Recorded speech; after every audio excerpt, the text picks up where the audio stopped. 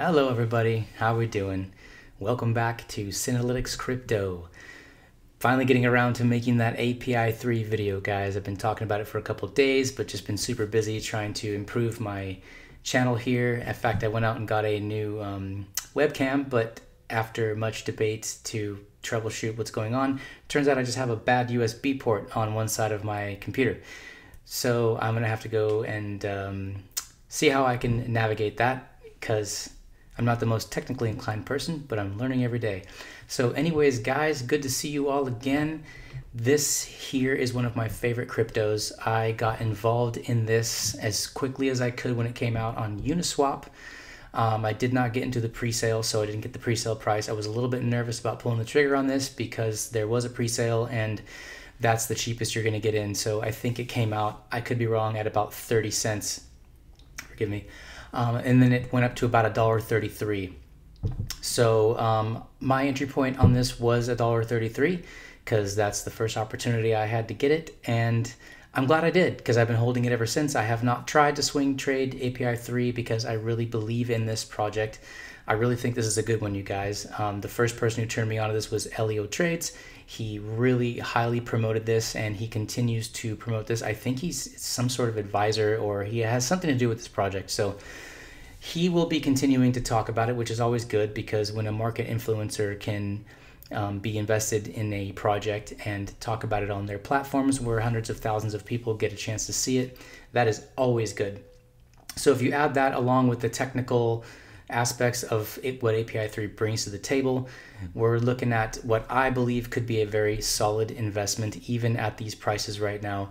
This is not financial advice. I am not a financial advisor. I'm just giving you my opinion on this and the full disclaimer of how much, well, not how much I have, but what I bought it at and the fact that I am a holder of API 3.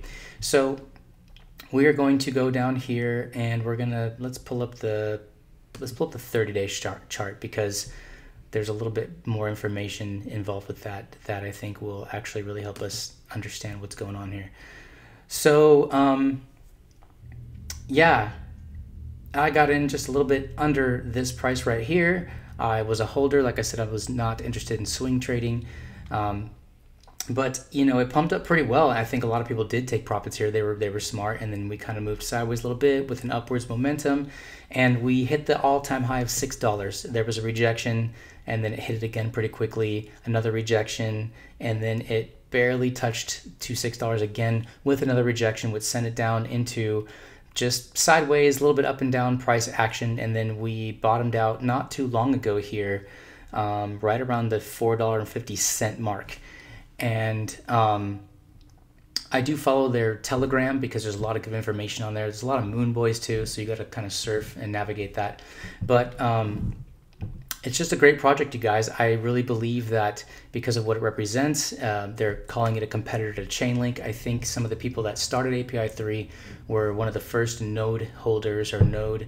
Uh, they were the first people running a node on Chainlink, and they got a chance to see some of the shortcomings of Chainlink. Now, um, I am not fudding Chainlink. I love Chainlink. I hold Chainlink. I think it's great. It's got, it, I mean, it's, it is the market standard for um, what it does in the space, and it is a an Oracle solution that provides a lot of interaction between blockchains, and um, it's just the dominant monster right now.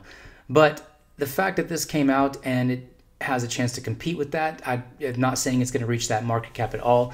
I do have a target personally of this market cap eventually getting to a billion, which would be great if they can really implement what they're doing. They are forming partnerships, so they're still kind of just getting started. It's a really relatively new cryptocurrency. It's not even like two months old. So, um, really, it's just something that I think is what I call a solid investment. And from there, we've gotten some pretty good price action here, and you can see there's been no major dumps of this whatsoever. This is not a pump and dump coin, which I think is great. This, to me, is a very, very healthy chart. Um, it once again, just what yesterday reached its all time high again, got another rejection, and then kind of tried to approach it again, and then a little bit of a rejection, and then boom, we've got a liftoff right here I still think this is steady growth. I don't think this has been pumped too much by any of the big people. In fact, a lot of the people I follow don't even really talk about API 3 because they just either don't really care about it, don't really know about it. I'm not sure. I don't know what they're thinking, but we're going to look at some of the fundamentals for the price anyway and what kind of action we're getting. So the market cap's just under 150 billion, or I'm sorry, 150 million. Uh, that's good. We've got a trading volume of a 24 hour trading volume of just over 50 million. So we're looking at roughly about a third of the trading volume um, compared to the market cap. That's good and healthy. That's just good fundamentals right there when you're looking at that kind of stuff. Oh, look at this. It breaks that down for you. You know, it doesn't do that on my phone, um, where I'm usually looking mostly on my phone. But for the sake of doing a video, we're doing a screen overlay so we could look at this together because I enjoy doing this together with you guys. The 24 hour low is 543, 24 hour high is 752. It's just a little over $7 right now as we speak. Also good market cap rank 183. A lot of room for growth here, you guys. If this thing can get, you know, upwards of towards about a billion dollar market cap, which would be a great target for that, we're looking at what about a 6x. Um, that's great. Steady growth, guys. This is really what is really good to be involved in, especially if you've made money on some lower all caps and you have you're looking for a good place to put them. Uh, I like this one. Uh, I do have a pretty 50 50 50 split with um, API 3 and Chainlink. I have not got, got involved in any of the other ones that are competing. I do hold a little bit of DIA, but I'm just not sure if DIA is really going to get there or not. It's had some good price action, but we're in a bull run. Everyone's looking pretty good right now. Um, but mostly it's just API 3 and uh, Chainlink. Band, I'm not a big fan of Band. Um, not knocking the project, you guys. Just personally for me, I it had such a huge pump before API 3 even came out. And now I think that this one's going to kind of steal the thunder a little bit. So uh, I like it a lot. I really want to know what you guys think. Leave a comment in the comments uh, section below. Tell me what you think. Tell me what you where you think it may be going. Tell me whether you're holding the coin or if you're thinking about holding the coin. It's always good to digest information from what everyone, the populace, is saying because you can kind of get a really good uh, flow of of the general populace and where they're kind of putting their money. Because when I watch a crypto YouTube video from one of my favorite people, I while I'm watching and I'm listening to what's going on. I'm reading comments the whole time because the community will really give you a lot of insight into exactly what the collective thinking towards a certain project is and that's valuable information. A lot of what i've done the success i have had in the last year or so is listening to the community. Doing your own research the, D, the, the whole DYOR thing that's a lot of doing your own research. It's you can look at the technical fundamentals of a project or uh, you know that's part of it as well obviously you can look at the price action of what's been going on but the community really has a voice and we see that in things like cardano and a few others where they have just such a community that really believes in the project and is going to support that project that helps you from avoiding things that are going to just crash and dump overnight and you're wondering what happened to your investment so um, I like it a lot. It is an Oracle solution. We're going to look at what we are the availabilities of buying API 3. Let me can I see see all trading pairs? Um, because when this came out, I my only option, like I said, was Uniswap, and now you can look. It's been picked up by. This has been happening over the course of the last six or seven weeks or so. It's been picked up by a lot of major exchanges. OKX, Huobi Global, Sushi Swap. Well, the swaps, the, the dexes seem to have everything, but um, this is looking good. There's been quite a bit of chatter as to, uh, oh, it's on KuCoin. I didn't know that. It's on KuCoin now. That's great. It's another option for buying and selling outside of Uniswap because those fees are getting ridiculous, guys. We really need a layer two solution. Solution. I don't know. Are you guys struggling like I am with the whole Ethereum thing? I've got a bunch of stuff on Uniswap that I'm afraid to to even buy or sell or or anything because you were looking at fees being upwards of like a hundred dollars right now and that's kind of crazy. We we certainly need a solution. That would be really good for some of us who don't have thousands of dollars to toss around on cryptocurrencies especially if you want to invest in a few things and have a nice bag and have a nice diversification of your portfolio so that you're not all invested in one project because if something goes wrong with that project you, it's just tough when you take losses like that. It's really hard to recover from stuff like that. So um, yeah, this is good. This is it's listed on more exchanges than I really thought because I haven't paid attention because, like I said, I picked it up on Uniswap. But this is good information here, right, guys? I'm really glad to see that. There's been some chatter. Now, I'm not going to start rumors because that's not really. I'm not trying to tell you guys things that aren't true. But from what I've heard, because of the Telegram chatter is that um, people are hoping and wanting obviously everybody wants to, and hopes to get on binance because it's the highest volume centralized exchange out there. Um, but there is talks of this on the telegram of them getting a binance listing. It's good to see that they're doing some volume some good daily volume. I mean 50 million's nothing to sneeze at. So if this project gets listed on Binance, there will be a huge pump. There will be a huge legitimacy brought to this, and that's where I think you're going to start to see those gains.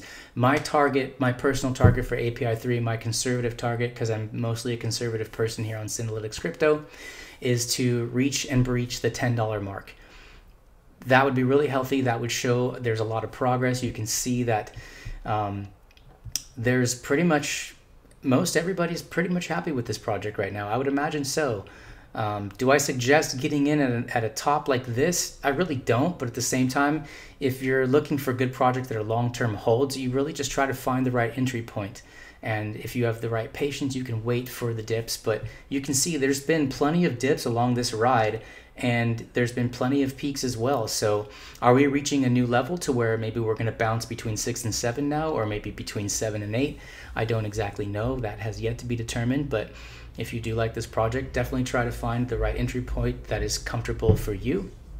My number one investing advice is to never throw more money at anything or be overly invested. Do not play with money that you cannot afford to lose. So, you know, rent money, car money, stuff like that, you need to take that off the table and um, not overextend yourself because then you every little bit of movement can really just cause a bit of panic within you. And uh, I've been there. That's why I'm speaking so openly about it. I've been there many times and I've learned a lot from it. So don't invest more than you have to lose because you could just assume that anything can go to zero overnight. This is crypto, things move very quickly. And um, that's just the world we live in. But let's just read a little bit about this. API 3 is a platform for decentralized API services targeted at the Web3 infrastructure. Data feeds are served and governed in a decentralized manner. That's always good.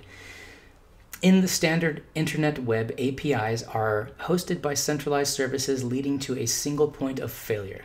Conversely, here, data will be distributed across different providers and will also be accessible by smart contracts.